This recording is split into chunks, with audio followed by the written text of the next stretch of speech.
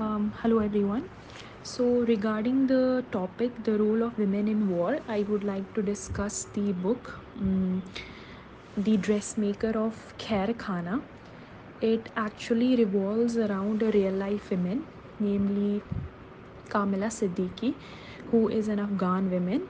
She pursues a teaching degree amid a very conflicting situation, the situation of a civil war and the situation when Taliban took over uh, Afghanistan.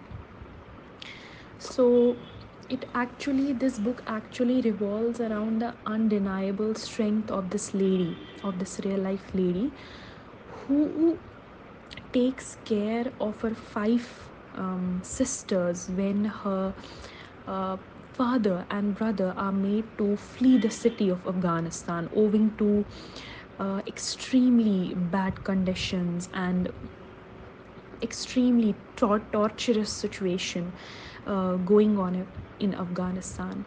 So uh, this book is is actually how this woman becomes an entrepreneur and feeds her family of five sisters. It is not uh, it does not represent the women of afghanistan as victims but as women who are extremely extremely strong who become the glue of their families and who tend to keep the families together despite very very bad situations going on in afghanistan.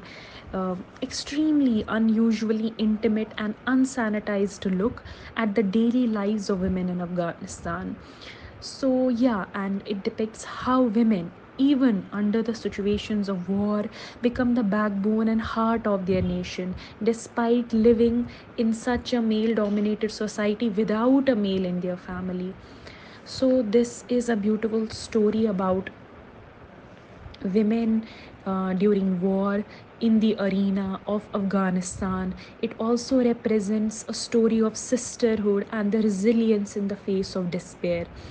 Um, it, it and it definitely definitely is a story that inspires women and that takes a look at the political and humanitarian crises that are going on uh, the same time in afghanistan. Yeah so this is the book i really like. Thank you